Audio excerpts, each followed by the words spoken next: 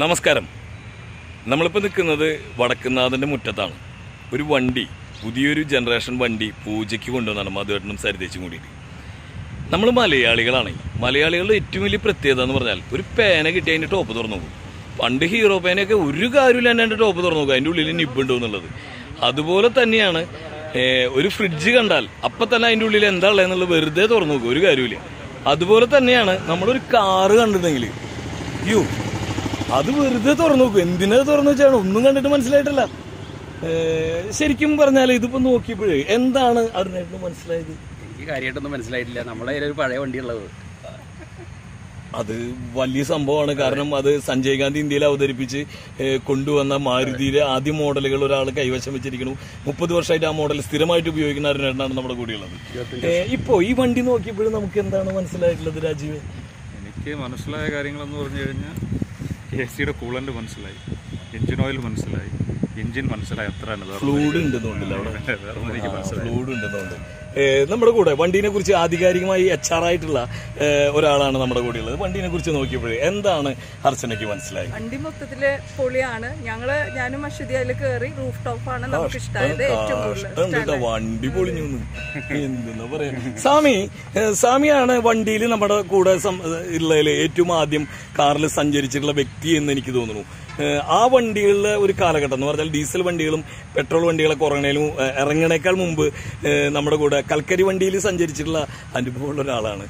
അല്ലേ സ്വാമി? അല്ല തീർച്ചയായിട്ടും. പക്ഷേ ഈ വണ്ടി ഇപ്പോൾ ഓടിച്ചു നോക്കിയപ്പോൾ അറിയുന്നുണ്ട് ഞങ്ങൾക്ക് ഒക്ടോബർ ഒന്നാം തീയതി തൊട്ട് ടൂറിനുള്ള സകല വഴി ഇതിൽ എപ്പിച്ചിട്ടുണ്ടെന്ന് അറിയാം. അപ്പൊ ഒക്ടോബർ ഒന്നാം തീയതി വേണ്ടി ഫുൾ ടൈം ടൂറായിരിക്കും അതെ നമ്മൾ ഈ ഈ തമാശകളൊക്കെ പറയുമ്പോൾ ഒരു കാര്യം നമ്മൾ മനസ്സിലാക്കുക. നമ്മൾ ഡീസൽ വണ്ടികളുടെയും അതുപോലെ കൽക്കരി വണ്ടികളുടെയൊക്കെ തുടക്കത്തിൽ നമ്മൾ വണ്ടികളെ കുറിച്ച് കേട്ടും പഠിച്ചുള്ള എല്ലാ തിയറികൾക്കും അവസാനം നമ്മളിപ്പോൾ ഇലക്ട്രിക് വാഹനങ്ങളുടെ ഒരു സംഭവത്തിലേക്ക് എത്തിപ്പെടുകയാണ്.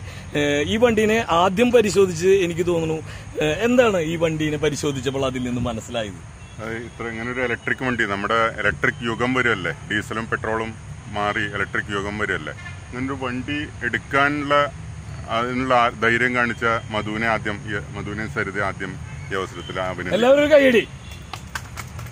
ഇത് വണ്ടി ഓടിച്ച് അതിന്റെ ഉള്ളിൽ ഇരുന്നിട്ടുള്ള ഒരു അനുഭവം വെച്ചിട്ട് ഗംഭീരാണ്. ഇത്രേ പറയാള്ളൂ അതെ നമ്മളുടെ വണ്ടികൾ ഇവിടെ തുടങ്ങുന്നത് മോറിസ് മൈനർ എന്ന് പറഞ്ഞ മോഡലിൽ നിന്നാണ് അല്ലെ മധുവേട്ട അങ്ങനെയാണ് നമ്മുടെ ചരിത്രം തുടങ്ങുന്നത് ഇപ്പോഴും ഇതൊരു മോറിസ് എന്ന് പറഞ്ഞാൽ ന്യൂ ജനറേഷൻ വണ്ടി ഒരു മോറിസ് എന്ന് പറഞ്ഞ ഈ പേരിൽ തന്നെയാണ് കാണുന്നത്.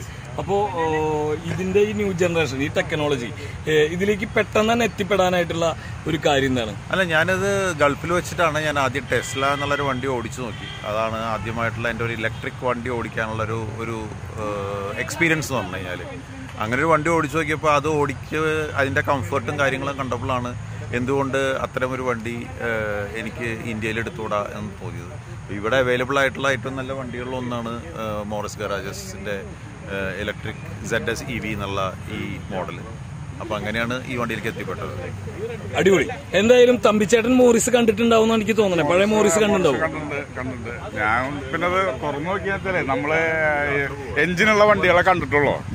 ഇലക്ട്രിക്കിന്റെ വണ്ടികൾ കണ്ടിട്ടില്ല? അപ്പൊ ആ ഇലക്ട്രിക്കിന്റെ ഒരു വണ്ടി നമ്മൾ അതിന്റെ ഉള്ളിൽ എന്താണെന്ന് അറിയാനുള്ള ഒരു ആകാംക്ഷ കൊണ്ടാണ് അത് തുറന്നു അതെ നമ്മൾ ഈ തുറന്നു നോക്കിയത് വെറുതെയല്ല.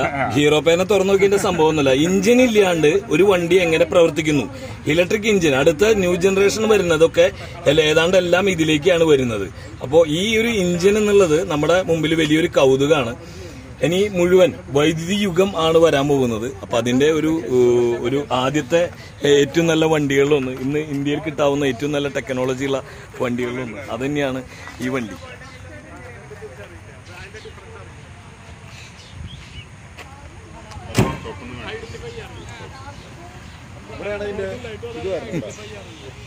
ഓല വേണ്ടി വരുന്നുണ്ട്. ഉള്ളൊക്കെ കാണില്ല?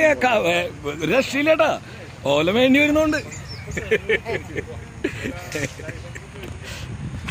അടിപൊളി. സമ്മതിച്ചിരിക്കണം